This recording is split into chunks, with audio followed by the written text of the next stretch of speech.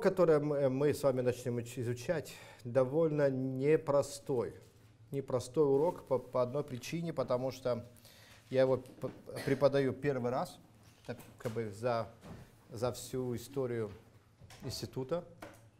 Но этот урок э, фактически э, его не преподавали, э, и я хотел бы просто эту тему взять, и будет она, я надеюсь, она будет интересна, потому что э, эта тема, о которой я буду говорить, тема э, во, такого вопроса религиозной идентичности во времена второго храма.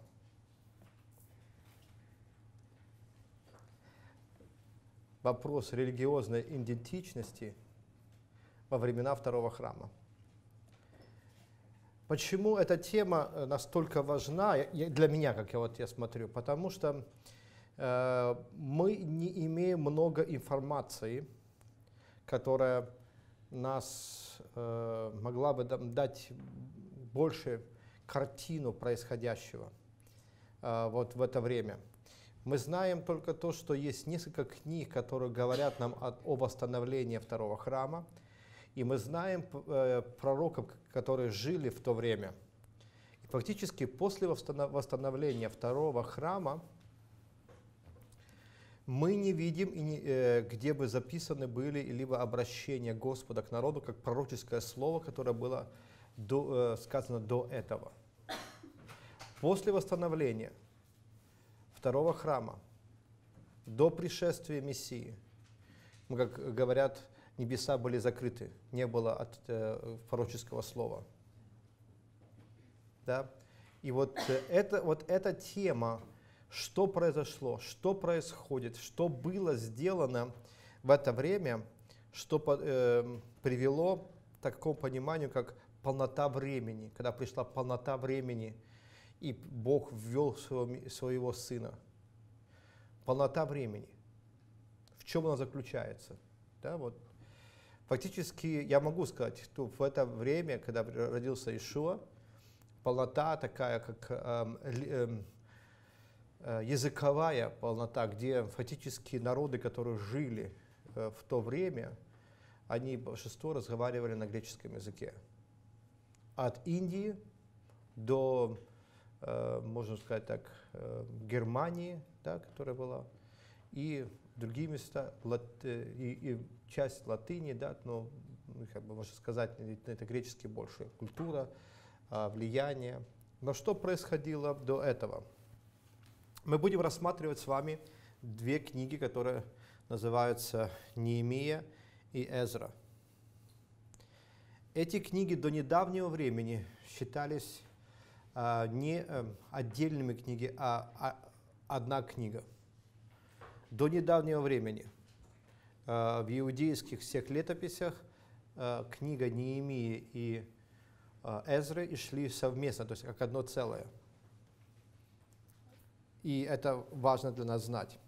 Чтобы понять, что происходило во времена восстановления храма, нужно э, вернуться к тому времени, что э, причины, которая э, рассеяла еврейский народ в то время.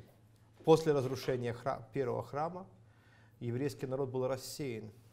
Что послужило этому рассеянию? Как, как вы думаете? Что послужило рассеянию еврейского народа? Непослушание. Непослушание, такое эм, раз, ну, разделение больше всего, наверное. Да? Мы понимаем, что э, после э, сына Соломона царство которое э, имел царь Давид, разделилось на два. Это царство Иуды и царство Израиля, то есть Северное царство. Есть еще выражение, которое называется э, десятиколенное э, царство. С, э, в Иуду вошли только два, да? в Израиль вошли десять.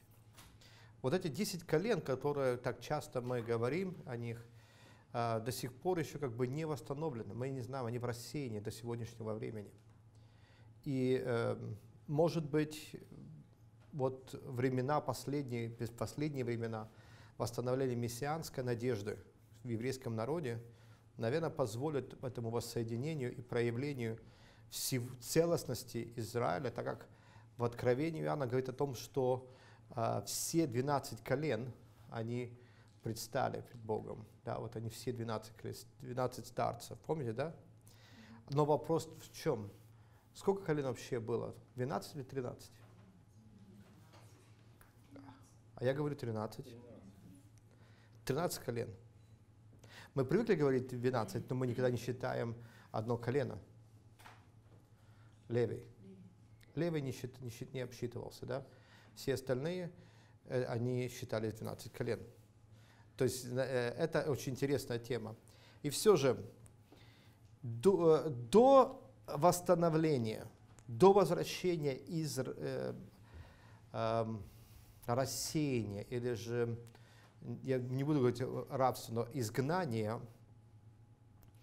э, которое, о котором говорил Господь, что практически происходило в Израиле?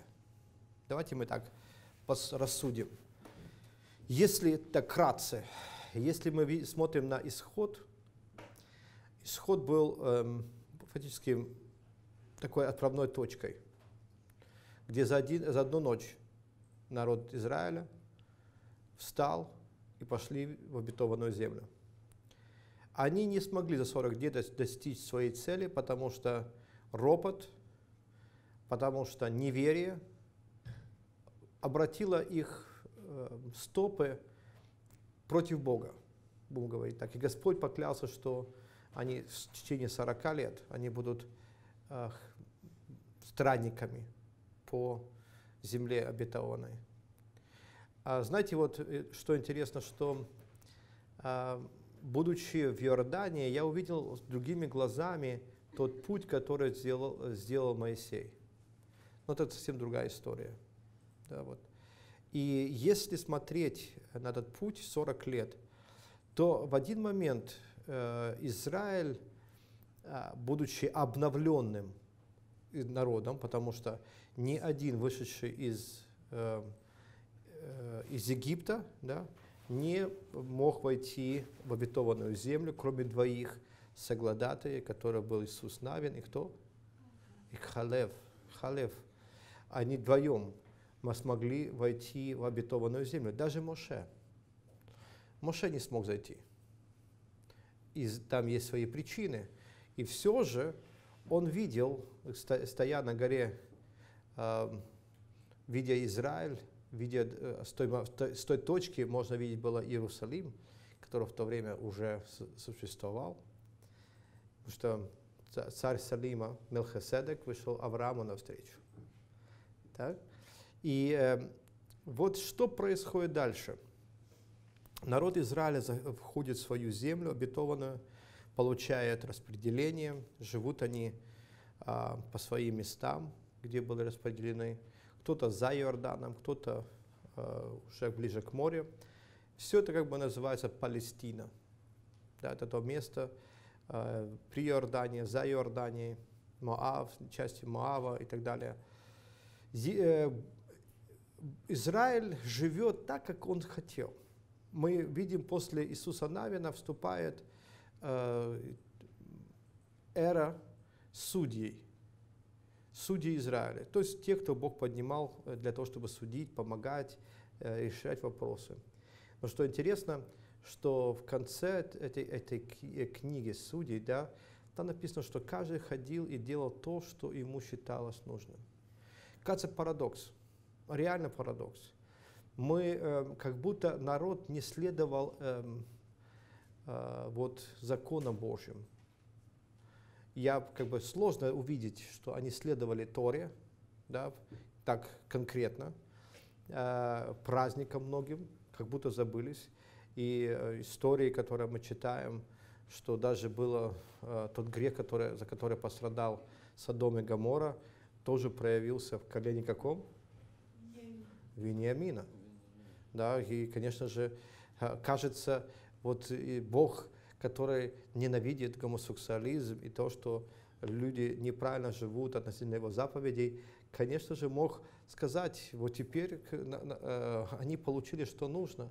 И когда вышел весь Израиль против Вениамина, Бог должен был вступить, э, ну, быть на, на, на стороне Израиля. Но не так-то было.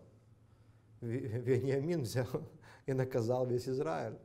Удивительно. А почему? Что случилось? Я вам скажу почему. Потому что нельзя было выступать, выступать брат против брата. Нельзя было. Одна простая вещь. Смотрите.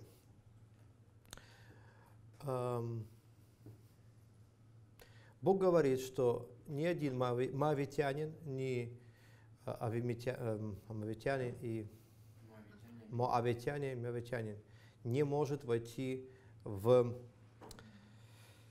э, в состав народа Божьего. Да? То есть, другими словами, был, был запрет на, э, на брак между Моавом да, и Израилем. Вопрос, почему? Ответ там простой. За то, что они не пропустили вас через свои земли. За это. Секунду. В чем вопрос? Ну не пропустили, не пропустили. Помните, там еще кто-то не пропускал. Они сказали, ну не, нет, так нет, мы, мы обойдем. Помните, да? Бог говорит, он тебе брат, поэтому не, нару, не, не, не, не нарушай. Просто не нарушай. Почему Маав, он не смог, э, как бы сказать, получил вот такой вот возмездие, Бог говорит, так, такой приказ? М? Я понимаю, что мы там тяжело. Это были родственники. А это были э, наследники Лота. Если вы помните, да? Наследники Лота. То есть между собой не родственники.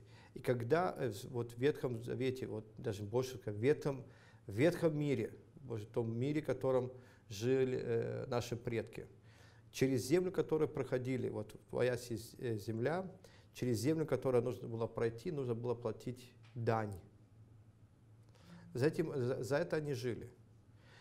Все купеческие, купеческие караваны, все торговцы, они, проходя через территории каждой, каждого колена или, там, можно сказать, э, племени, они платили оброк.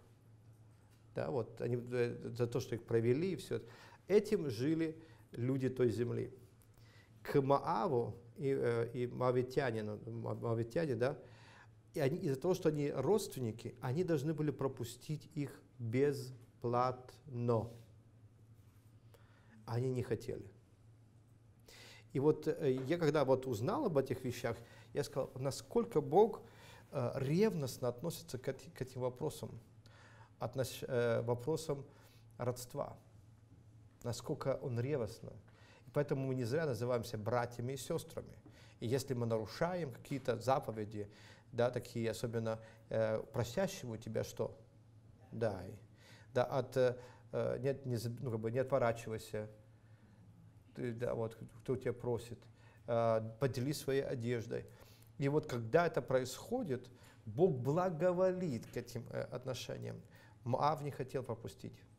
И Бог говорит, из-за того, что ты из родственных отношений, ты должен был это сделать, и ты не сделал по зажесточенному своему сердцу, то я говорю, ты, ты не, э, не сможешь быть в благословении. Хотя вопрос, ведь бабушка Давида была мавитянкой.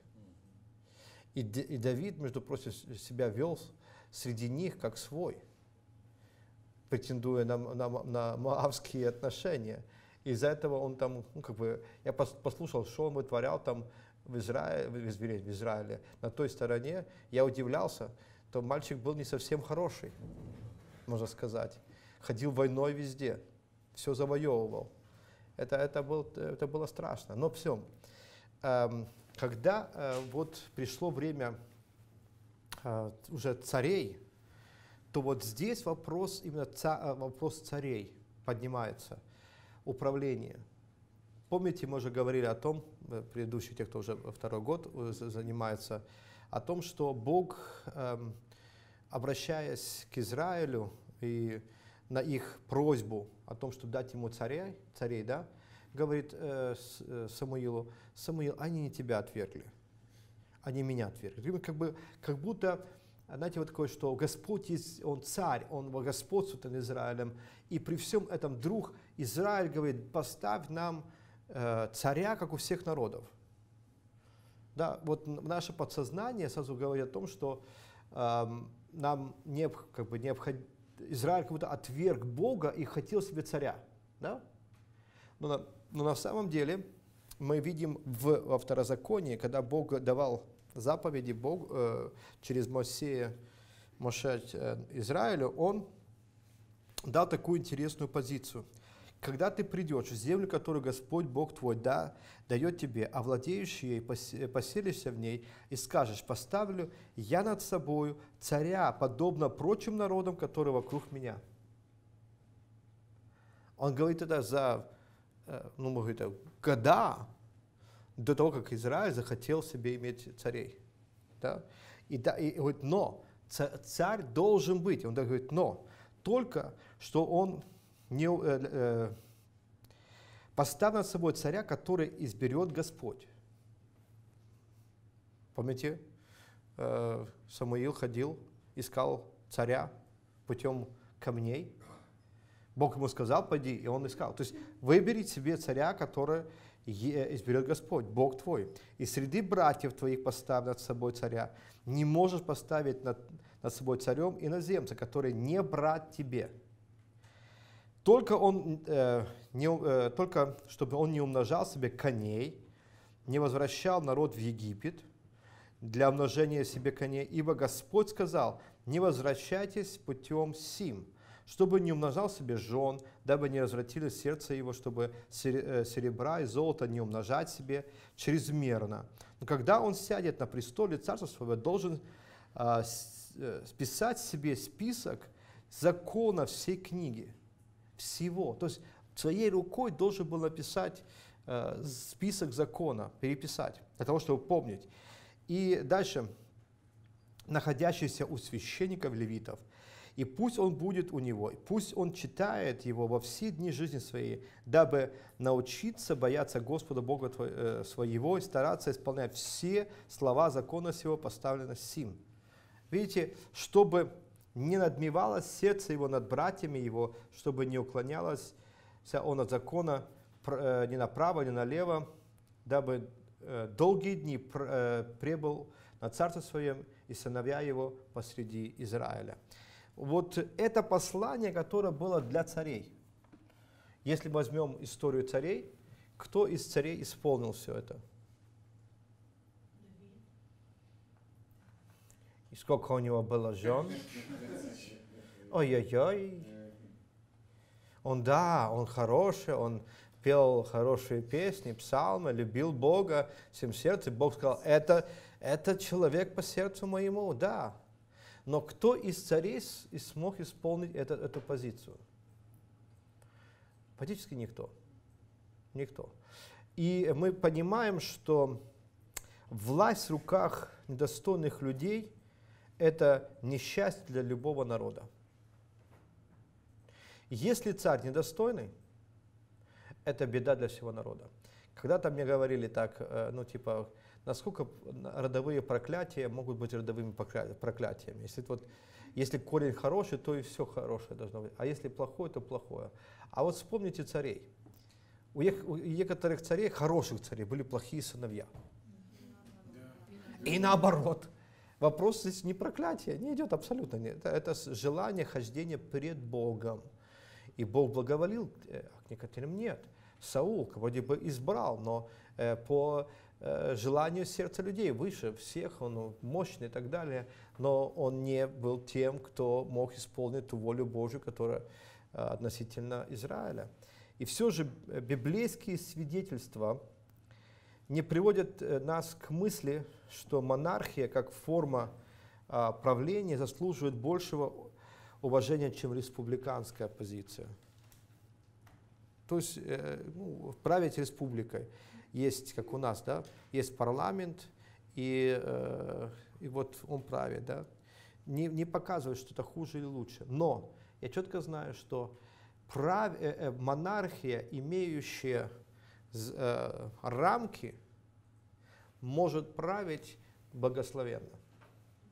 И поэтому Бог дает эти, эти рамки, за, с которыми должен был э, царь, который избирал э, Израиль, да, первое, он должен был избираться по воле Бога, из своих, не из чужих.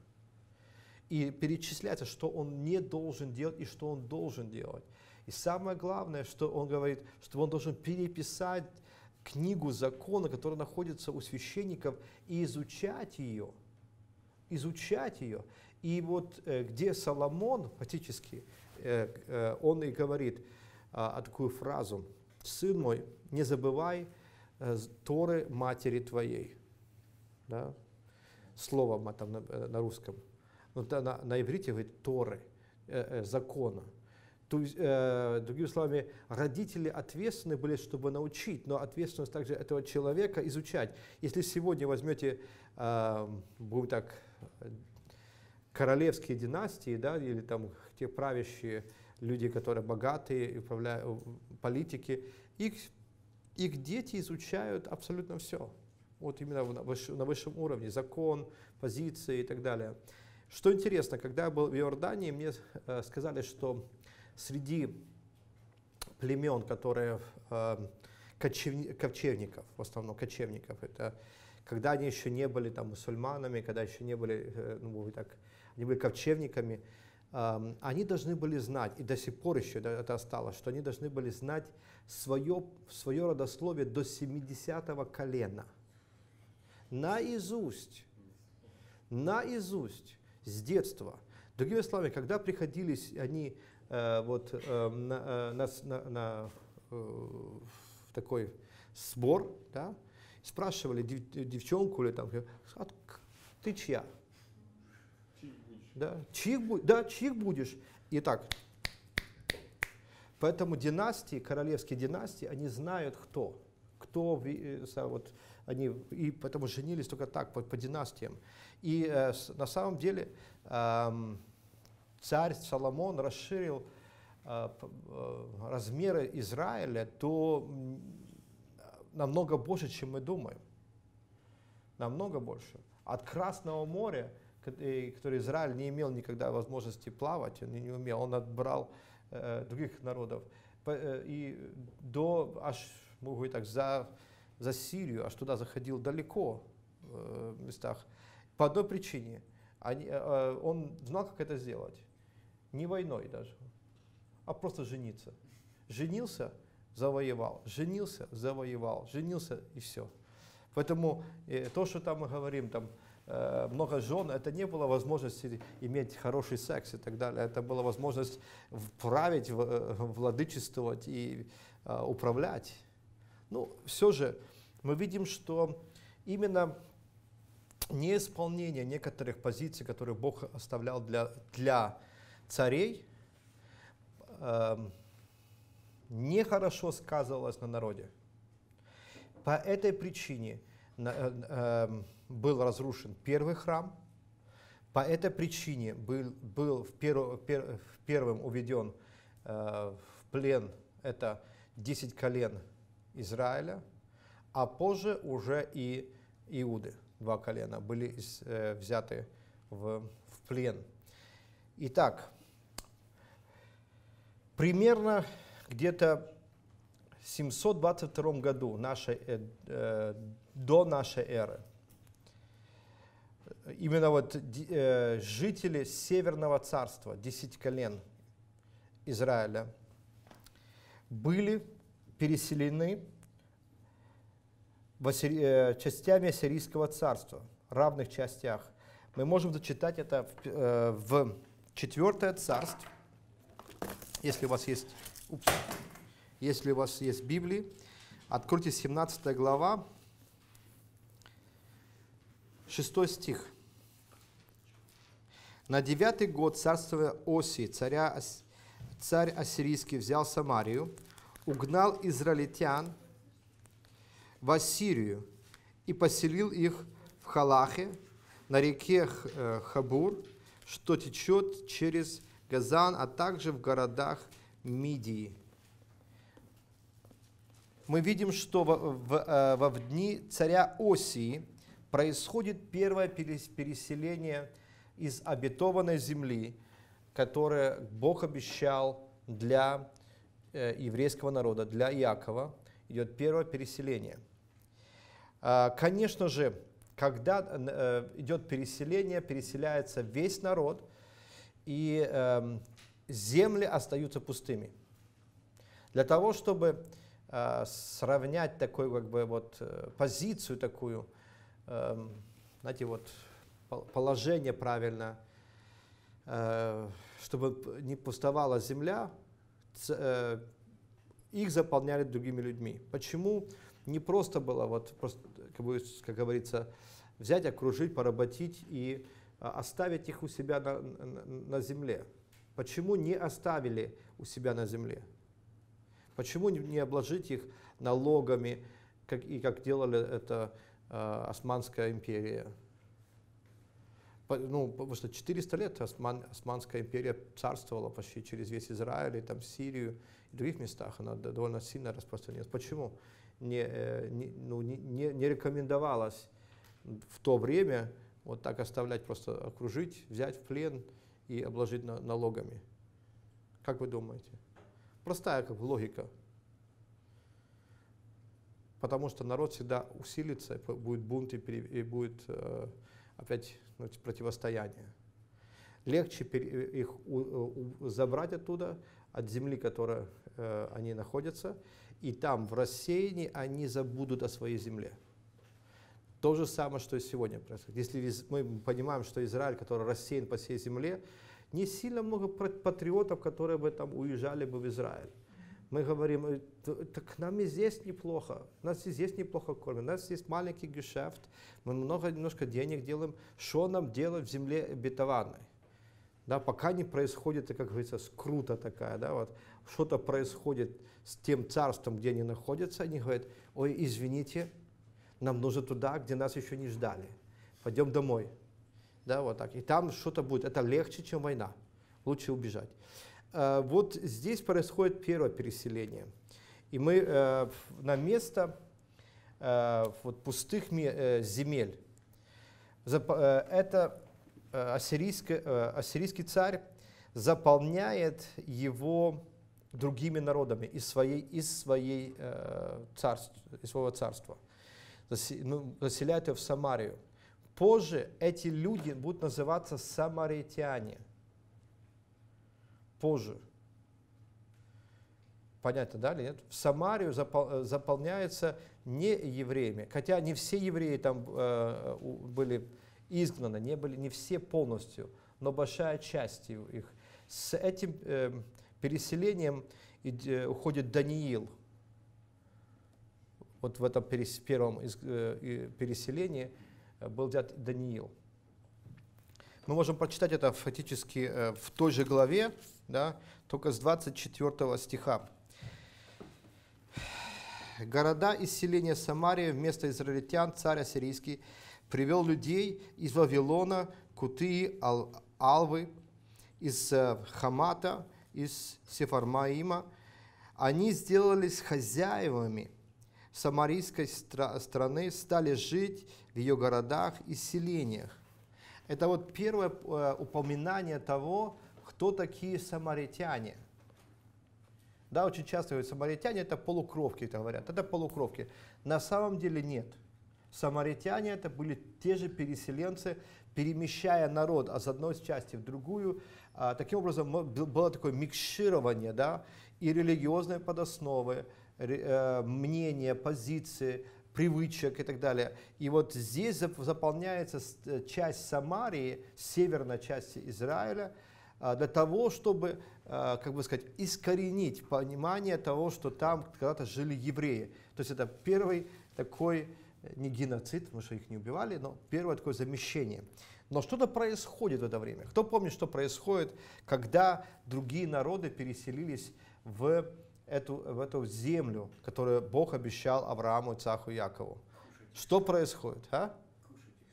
Их стали на завтрак кушать львы, на обед медведи и на, на, на, на ужин все остальные, кому не лень. Да? То есть они стали э, этой, как бы сказать, живо, ж, ну, трапеза, это правильно, можно сказать, тра, трапеза животных, и это весьма смутило народ. Они стали бояться, бояться. И причина, причина страха. Вот здесь написаны такие э, интересные моменты, мне очень они понравились. Царю, царю ассирийскому донесли, народ, который ты переселил в города и селения Самарии, не, э, не умеют, как положено, чтить Бога той страны.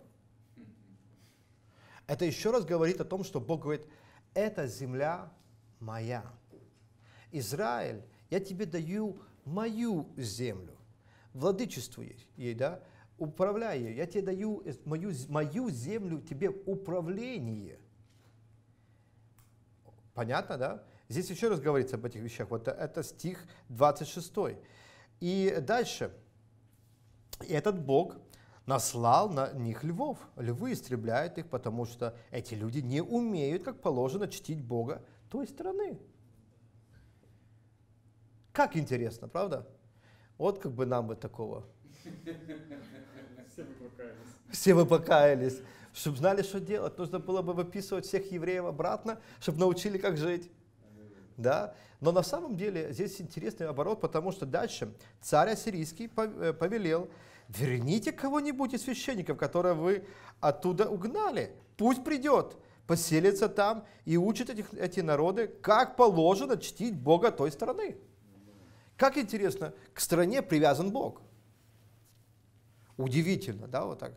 Это, это, это, это реальность. То, что мы сейчас переживаем, э, вот э, фактически в этом положении. Мы, я даю предысторию того, к чему мы вернемся, вот к этому переселению, почему потом а, было еще переселение. Мы э, замечаем, что от э, изгнания было, ну, было ну, не, не полностью. Мы видим, что там оставались евреи, и которые, ну, говорить так, что-то делали. И этот священник, который вернулся, он научил этих людей каким-то обрядам. Но эти люди, из-за того, что они пришли из ну, так, со стороны ну, это, Вавилона, принесли своих богов, свою традицию. Они пос, э, служили своим богам. Это были особенно разные люди. Ко, все, ко всем, там одни сжигали своих детей, служат другим богам, да, богам, другие там еще приносили какие-то жертвы. А, и в, ту же, в то же время они начинают поклонение, да, вот так. Это та самаритянка, которая сказала, ха, не там, а здесь, вот на этой горе. А Иисус что ответил? Ишуа отвечает, что не здесь, не в Иерусалиме. Да? Нет. Но и э, Бог ищет тех, кто будет поклоняться Ему в духе истины. Оно так. Где бы ты ни был, где бы еврей ни был, он понимает, что Бог его избрал как э, народ, э, которого он любит, и что поклоняющийся на всяком месте приносит жертву хвалы, поклонения Ему независимо от места. Да? И об этом Ишуа говорит. Фактически это места, где евреи приносили благословение проклятия. 20, 28 глава Второзакония. Вот на одной горе было благословение произносили, на другой проклятие. Посередине стоял ковчег, и вот как свидетель того, что происходило. Вот на самом деле есть очень огромнейшая глубина. И, верну, и Вернулся туда один из священников, э, угнанных из Самарии. Он поселился в Бет-Эле. Слово Бет-Эль, что это значит? Да, Бет-Эль это э, дом Бога. Поселился в Вефиле, другими словами, в Вефиле, да? И стал учить эти народы, как чтить Бога. Между тем, каждый народ делал статуи своих богов, ставил в своих селениях их э, храмах, капищах, построенных самаритянами. Как вавилоняне а, воздвигли статую Сукота э, Бенон, люди из Куты Нергала, люди из Хамата статуя Ашима и так далее, и так далее. То есть перечисляется все, что там делали. Они делали своих соплеменниками, жрецами, капищ и так далее. И Господу они поклонялись и богам своим служили, служили так, как было принято у них на родине, та, откуда они переселились. Там перечисление очень большое, и вот здесь все как бы и начинается. Проходит время, и э, примерно э, уже в 586 году до нашей эры были изгнаны из своего э, места расположения иудеи, два остальных колена. И в, свое же, в свою же очередь это, э, их изгнание, э, знаете, вот как э, то, что как бы я увидел, э, и мне рассказали в э, Иордании, когда брались любые поселения – камни, из которых были построены дома и так далее, раскидывались по всем полям. Специально, как а, мера унижения и, знаете, вот э, такое, такого как бы утверждения, что больше не будет построено здесь ничего. Э, раскидывалось. Поэтому часто видно эти камни э, специально порублены, дальше от места, где они были ну, построены, очень далеко. Специально разносилось, раскидывалось. И, и это были такие своего рода а, традиции покорителей. Да, вот чтобы, чтобы было как бы униж, унижением. И вот э, в это время э, эти э, э иудеи были рассеяны тоже по разным местам и э, по разным Э, городам. Мы уже говорили, Даниил был переселен в Вавилон. Да? Есть небольшая разница с тем, что э, Есфир и Мардахай, они были э, э, рассеяны или по, по, поселены в Сузах. Хотя там есть небольшое расхождение по времени, но суть не в этом. Э, как, так, как исторический факт это было. Э, данное пленение было, прошло долгое время. И такое пленение, это даже не был плен, можно сказать, это не был плен. Это было рас, именно рассеяние. Почему не говорю не плен, не, не было каторга, не было это рабством, как это было в Египте, потому что э, евреи имели возможность э, строиться, иметь гешефт маленький, то есть э, э иметь немного денег, э, торговать и все остальное. Это мы к этому придем, потому что э, вот в книге Неемии и э, Эзре об этом говорится, потому что чтобы восстанавливать храм, мало того нужно было э, разрешение от царя, э, да, но нужно еще были финансы. И богатые евреи, вопрос, если ты был рабом, что ты там делал своими деньгами, да? все-таки э, снабжали постройку этого э, города. Мардаха и, и э, а, находились у царя Тарсекса. И примерно, еще раз скажу так, примерно, сейчас, э,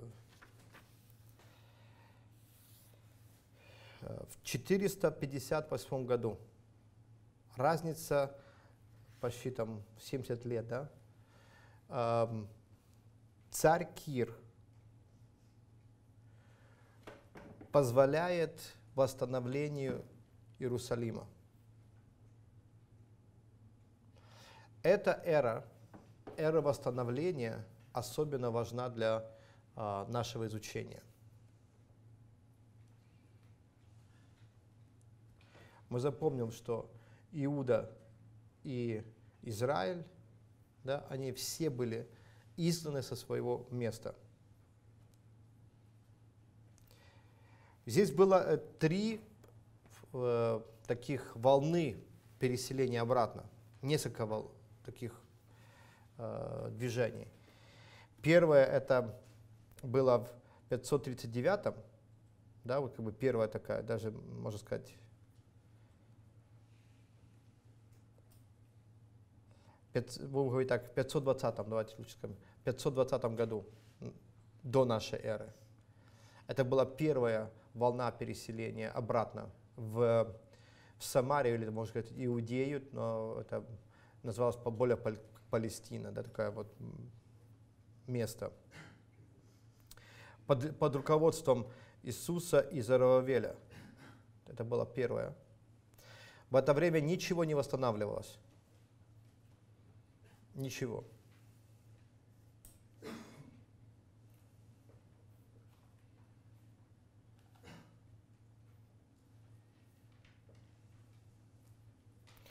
Вторая волна была в 458 году.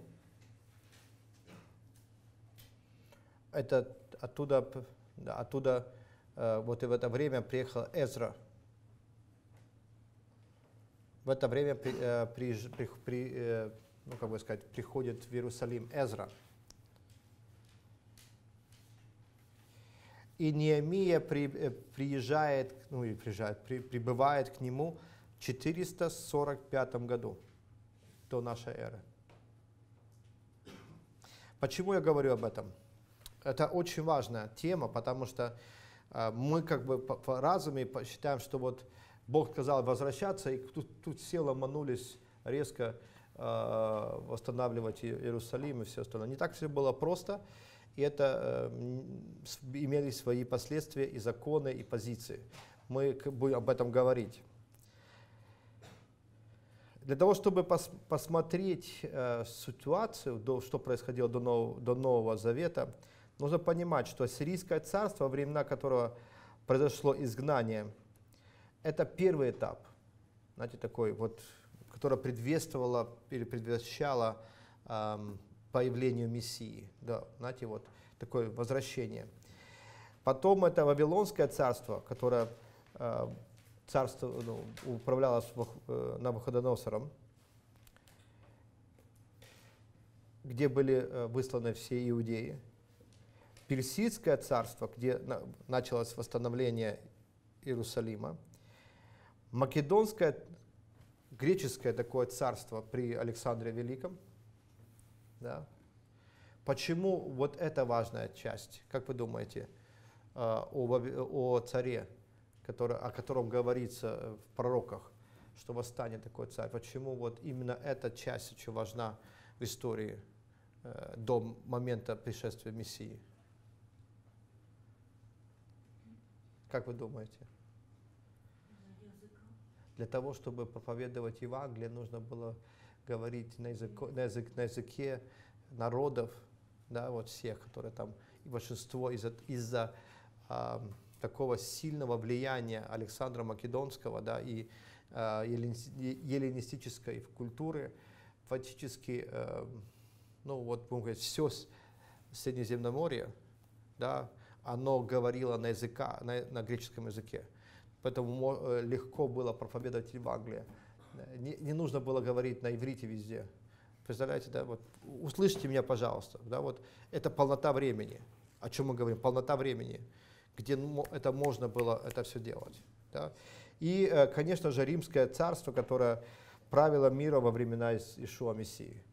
Это тоже э, это расширило, конечно, возможности путешествия и э, уже другая цивилизация. Итак, мы делаем перерыв. thank you